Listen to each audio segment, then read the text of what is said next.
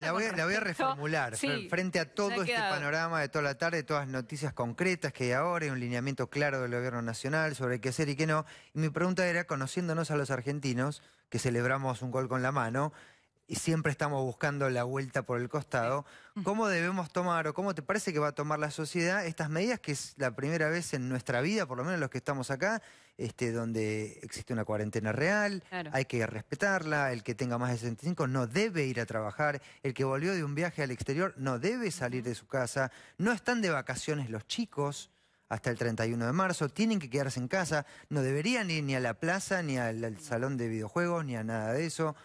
¿Cómo tenemos que tomar todo eso, digo? Bueno, es un desafío. Características de la sociedad argentina. Transgresora. Uno podría decir, fase 1, negación. Esto no va a llegar, es algo de Europa, es algo lejano. Es más grave el dengue. ¿Cuántas otras personas, cuánta cantidad mueren, mucho más?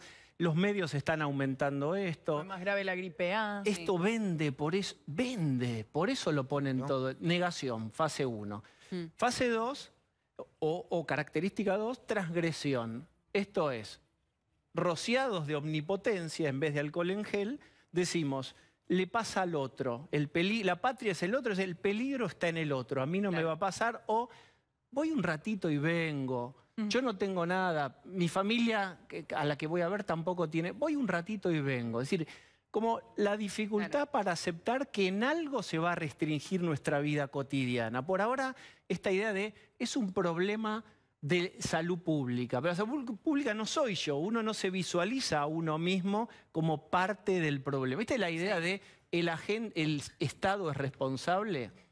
Y acá es la- el punto. Los ciudadanos somos responsables. Como nunca te diría en, la- en los últimos años, somos absolutamente responsables de nuestro metro cuadrado. Porque en ese metro cuadrado se juega la velocidad del contagio y la ventana de tiempo que le damos al, al sistema de salud para prepararse por si esto aumenta exponencialmente. Entonces, a ver, Diego, Sí. pues tenemos un montón de cosas para analizar. Tenemos las imágenes de un boliche muy conocido de Ramos Mejía, en el cual la gente parecería no vivir en este país, parecería no estar al tanto de lo que ocurre y sobre todo las autoridades de este lugar, ¿no? Eh, en un rato las vamos a ver, las vamos a compartir para que analicemos, para que podamos analizar juntos estos. Eh, después, eh, recaudos, ¿no? Tomar el mate sola, ponernos alcohol en gel. ¿Qué otras cosas podemos hacer?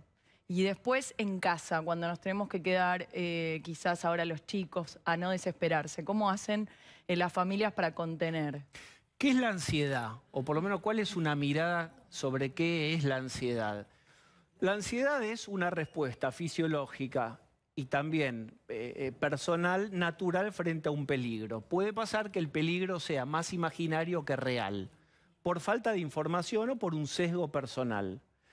Lo que debemos hacer es darnos cuenta, yo decía al principio, que esta es una pandemia, pero que nunca la humanidad estuvo tan bien preparada y hay tantos elementos a mano para enfrentarlas.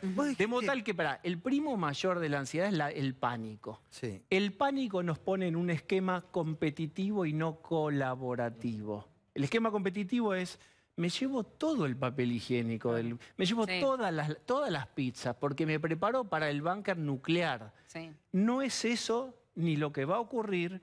Los, productores de alimentos no están dejando de producir. No hay una escena Bueno, de pero catástrofe. esto es una profecía autocumplida desde el vamos. Bueno, o sea, para eso eh, estamos Ya estamos nosotros. viendo góndolas, estamos viendo góndolas vacías, estamos viendo que la gente ya se llevó las cosas y los que van a comprar un Hoy poco vi- caídos del catre ¿saben qué dicen, vi hoy no de- tengo de- nada. De cambio de hábito, eh, una casa de pasta, domingo a la mediodía, a la mañana, casa de pastas frescas. Mm, Que suele habitual en la Argentina, estaban llenas un domingo. sí. Estaban llenas, pero la cola era en la vereda.